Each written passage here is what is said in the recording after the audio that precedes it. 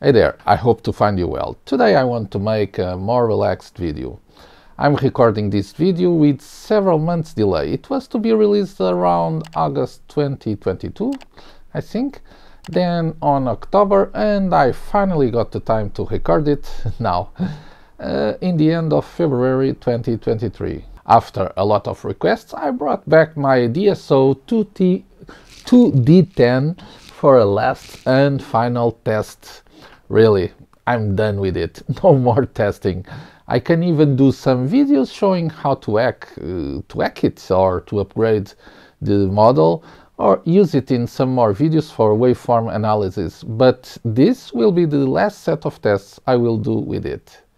I bought this oscilloscope on 2022 and for making that possible I have to thank you, one of my awesome viewers and maybe one of the channel supporters that through the affiliate access links on the screen that you can use before shopping on AliExpress or Amazon and without any extra costs to you, allow me to receive a very small affiliate commission that helps me to buy equipment like this oscilloscope to review.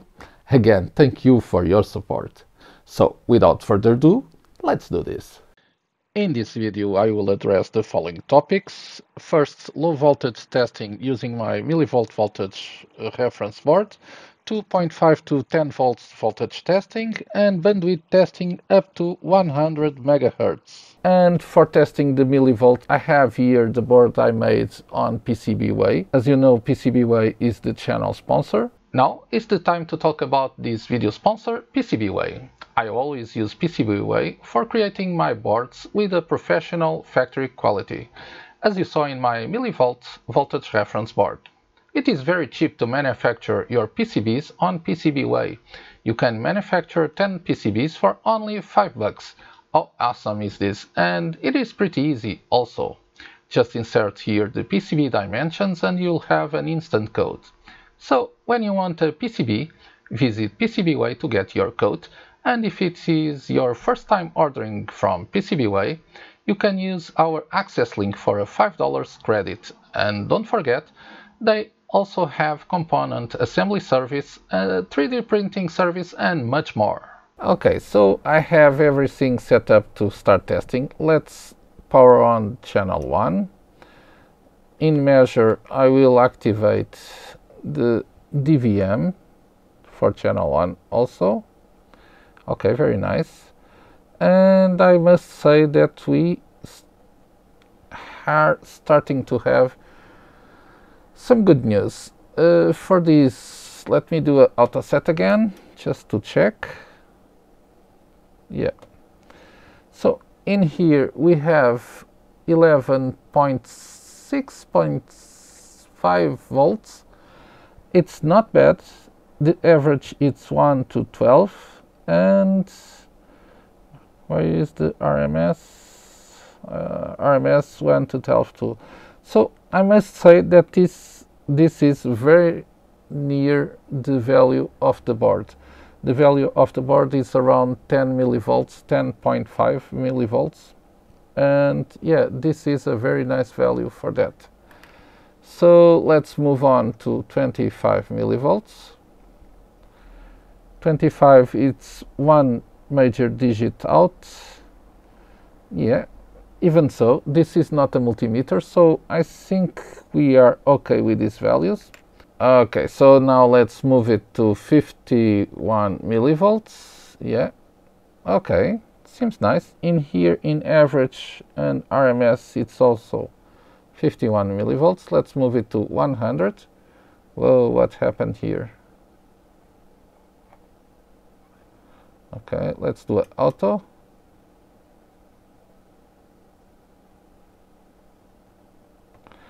I don't know what is happening with the voltmeter, but on average it's pretty accurate. It says 100 millivolts in here and also in RMS. I don't know what's happening here with the voltmeter. Let's see if I can change no, not this uh, voltmeter. If I can change here, DC again. Hmm. I don't know what to say because it's detecting correctly in here. Let's move on to 250 millivolts still uh, let's auto set uh, now it's working. I don't know what happened with the 100 millivolts. Well it's a bit off but I changed this to DC instead of DC RMS let's change that back. Okay. Yeah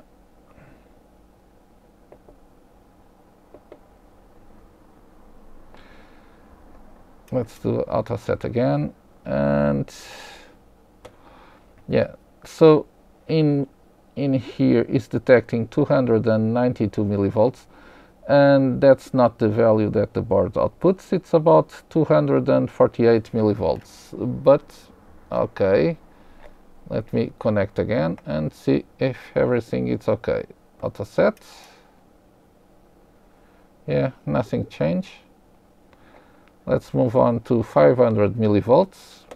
Auto set again. Okay. 508 7 okay pretty near. In here we have 504 3 and this one it's much more near the values. It's about uh, yeah this one it's about 501 uh, I think let's move this to 1 volt auto set again.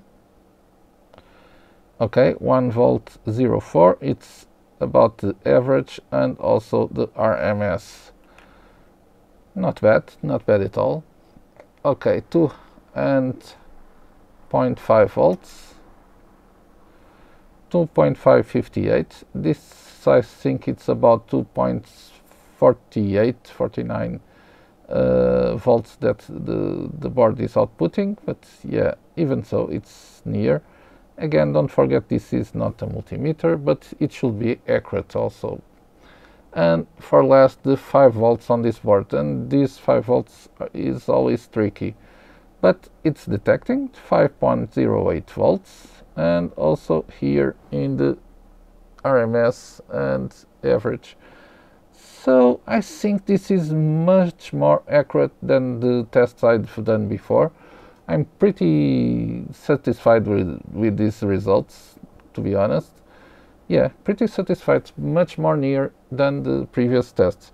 For now, I will test with my voltage reference boards, 2.5 volts, 5 volts, 7.5 and 10 volts. Let's see what values do we get there. So I have everything already set up to use my voltage reference board to test the oscilloscope. Let's start by powering it up, okay, and moving this to 2.5 volts. So my let's do an auto set. It's always better to do an auto set always.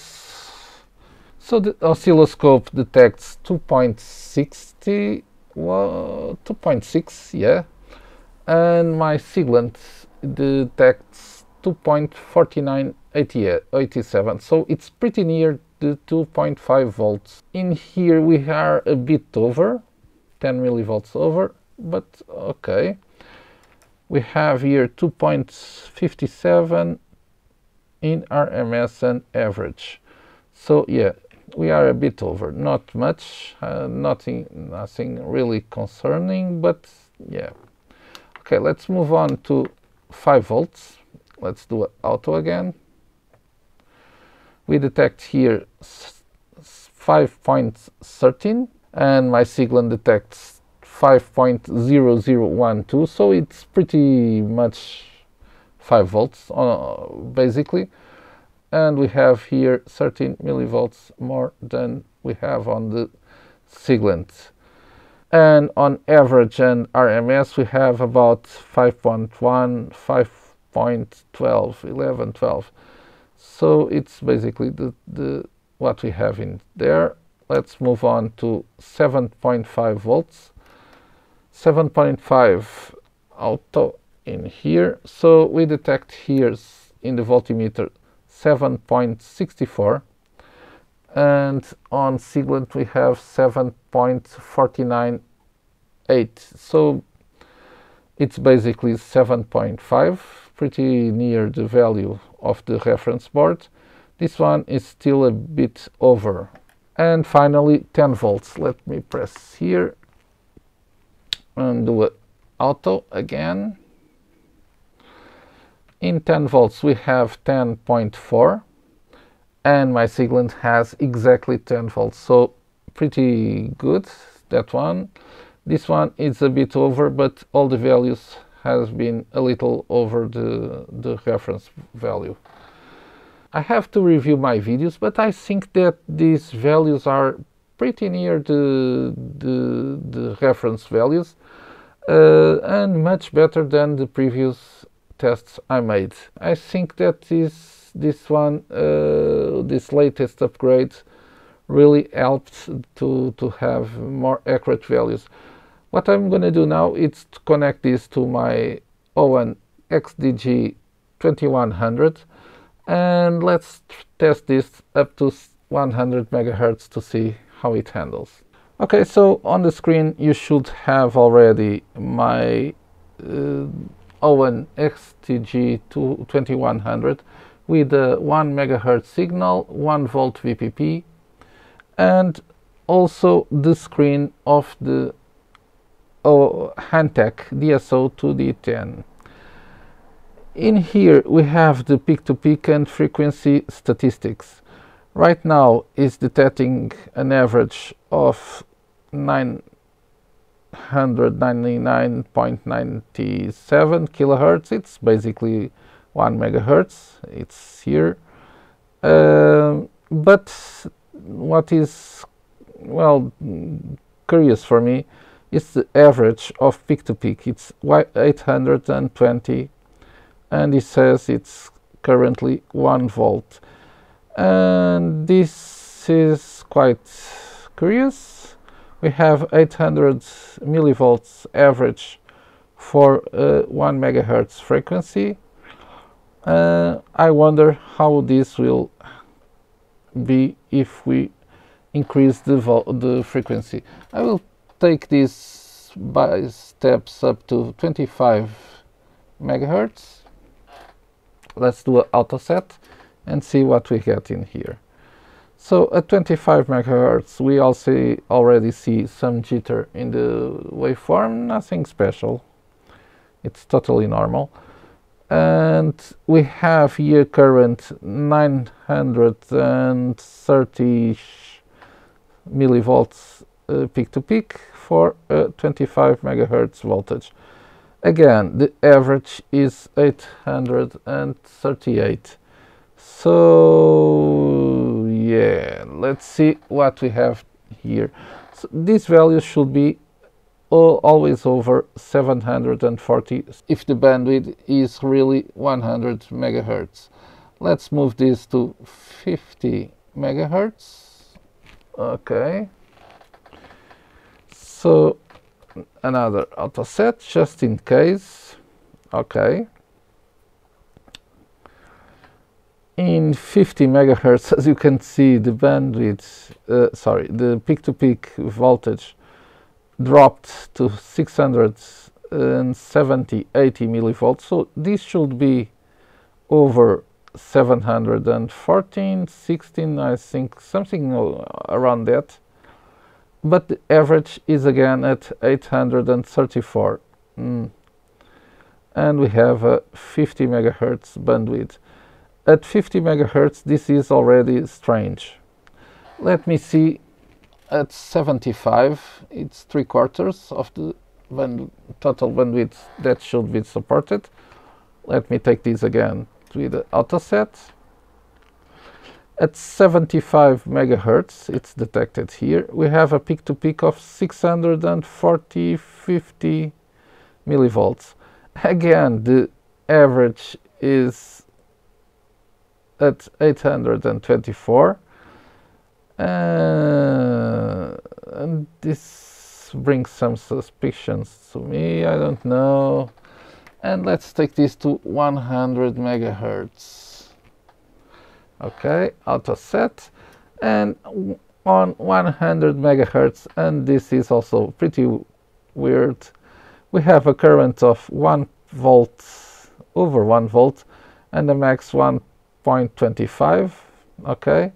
But the average is still 126 so I don't know. I don't know. This says 100 megahertz. The line is pretty jittery but if you use average uh, on acquire I think it will stabilize. But yeah this is uh, weird I will do something. I will change the the values manually. Okay let's start decreasing. I'm around 92 right now. And let's do auto set we have 890 millivolts. Okay. Let's go below 90 88 okay. Let's move this to I don't know 76 seems good.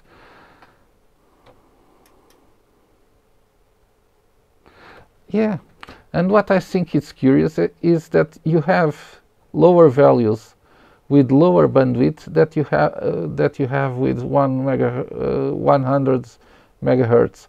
So mm, it seems something fishy here I don't know guys. Just comment to to see because probably you guys may know something that I don't know and but this seems fishy.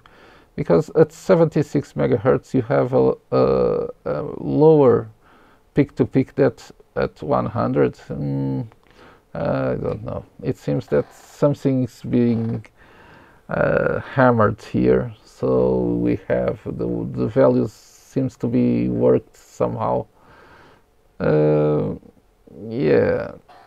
Let's take this to 60 something. Yeah. A 63 uh, megahertz. Let's do an auto set. At 63 megahertz we still have 644 uh, millivolts. And this average is still on the same place always. I don't know. Maybe this is okay. Maybe not let's move on. I show you the info you decide. To wrap this up in my opinion this oscilloscope still is a good choice to buy.